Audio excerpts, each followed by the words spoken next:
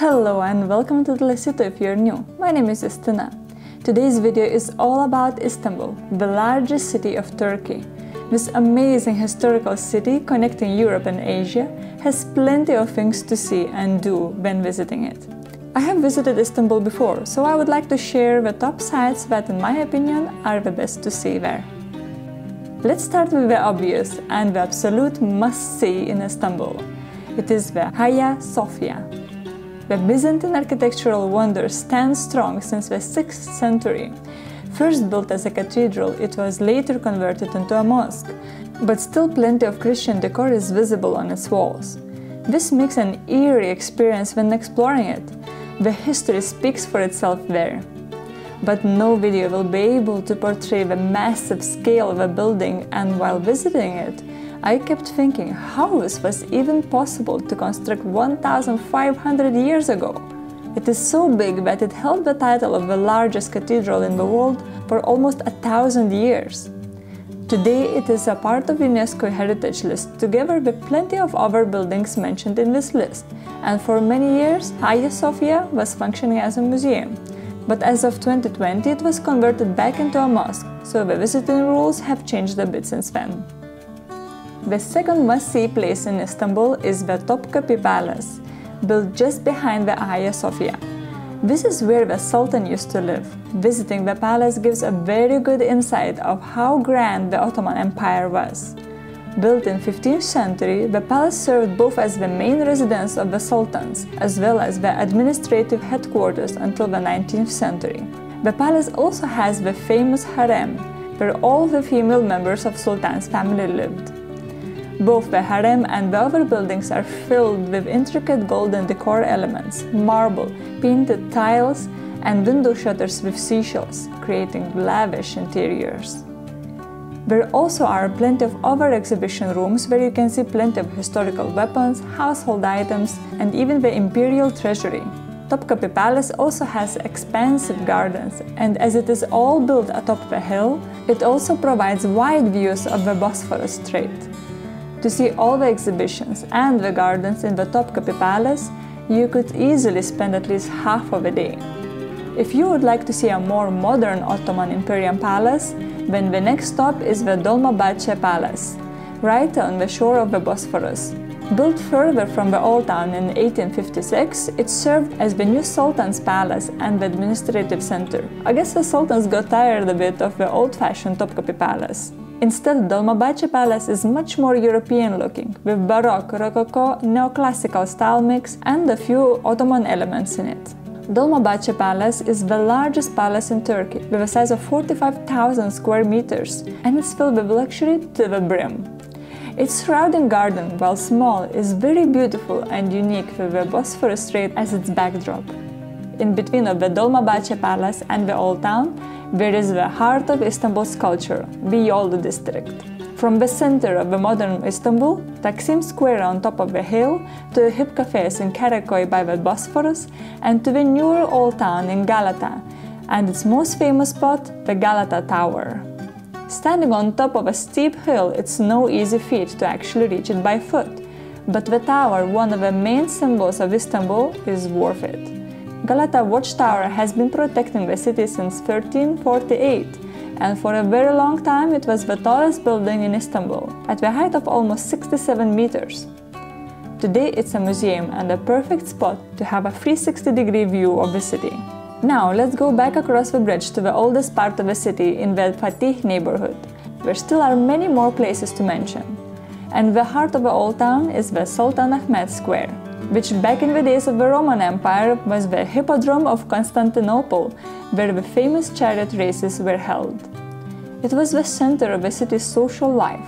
The Emperor Theodosius even brought an ancient Egyptian obelisk in year 390 from the Temple of Karnak in Luxor. Today the obelisk is around 3500 years old. Right in front of it, there is the Museum of Turkish and Islamic Arts inside the 16th century Imperial Court Palace. Beside the architecture, the museum has an extensive collection from the fancy looking scripts to carpets and Ottoman furniture. On the other side of the Sultan Ahmed Square, there is another pretty sight to see, and the one that actually gave a name to the square. It is the Sultan Ahmed Mosque, or more known to visitors as the Blue Mosque. It was constructed in the beginning of the 17th century, and it's famous for its walls, which are decorated with around 20,000 hand-painted blue tiles. Just as the Hagia Sophia a few hundred meters away, the Blue Mosque is also a part of UNESCO Heritage List. While it is not a world wonder as Hagia Sophia, which was built a thousand years before this one, the Blue Mosque is almost as big and impressive on its own. It is fascinating how people, not just in Turkey but all around the world, put so much exertion, sometimes pushing the limits of their capabilities, to build most spectacular structures for religion. Anyway, back to Istanbul.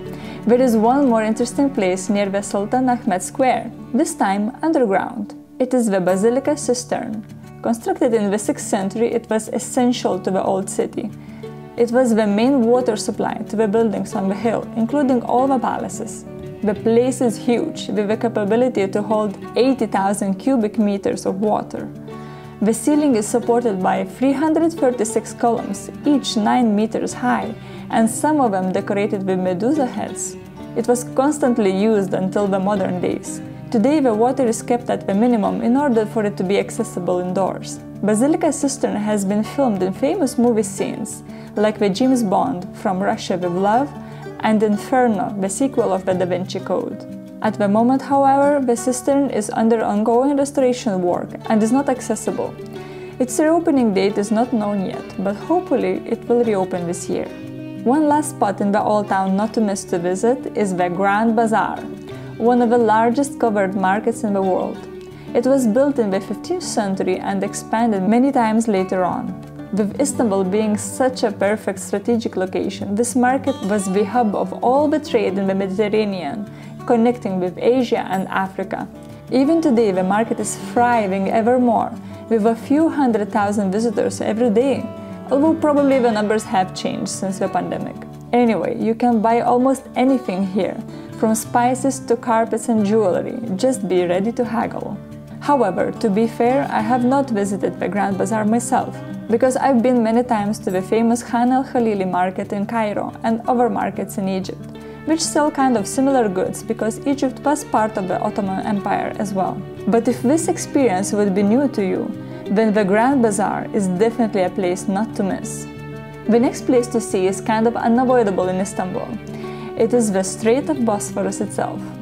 You'd be getting glimpses of it from many places around the city, with massive container ships passing by and local ferries scurrying between Europe and Asia. Istanbul is unimaginable without it, so having a boat ride through it is also a great experience to see the city from the waterside. There are plenty of touristic boats that pass by famous places, but taking a ferry to Asian side is just as fun but way cheaper.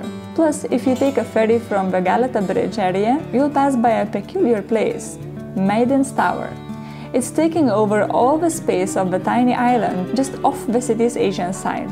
This cool looking tower also attracted many movie makers to film there, including another James Bond movie, The World Is Not Enough.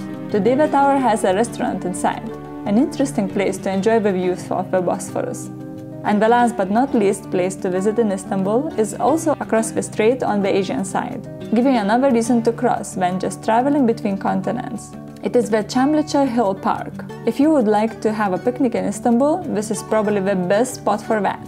At 288 meters high, it is the highest point of the city and it shows you that. Çamlıca Hill provides the beautiful wide views of the city, you can see almost everything there the Bosphorus Bridge, business district, the old town, and more. But if you are not up for going uphill, you can still have a good time on the Asian side. It is great to have a walk on the pedestrian path by the water, with plenty of cafes and street food stands. You can feel a bit more local and laid back atmosphere there, compared with the very touristic old town. Now that you have watched all my top sites in Istanbul, here's a little bonus the Turkish cuisine. Now, that is definitely not a miss, even if we do have the usual food chains from abroad as well. Turkish food can even be the main reason to visit the country. There's so much to try here. Probably the most famous are the shawarma and grilled meat dishes. but there also are plenty of other things to try. For example, I didn't even know this pastry before going to Istanbul called simit, but it is such an amazing snack, and you can see that everyone loves it there. You can find a seller on almost every corner. There also is ayran, a type of drinking yogurt that locals pair with grilled meat. And for the sweet tooth, all types of baklava are a must try together with black tea. And of course, letting yourself to get tricked by ice cream vendor. Something more specific for Istanbul would be the seafood, since it's a coastal city. Locals swear by mussels, there are plenty of places selling them. Istanbul is a very flavorful city, both in food and sightseeing options. There are plenty more sites that I didn't mention in this video, but it all depends how much time you get to visit it. I would recommend at least 3 days, depending how fast your pacing is. With kids that definitely takes more time, since playgrounds and parks are a must too. We stayed there 4 days with a toddler and wished there was more time. Going around town is very easy as the tram is very well developed. You don't have to even stay in the heart of Old Town. I found Karaköy district particularly interesting to stay in. So that's it for today's video. Let me know in the comments what would you like to visit in Istanbul the most. And thanks for watching.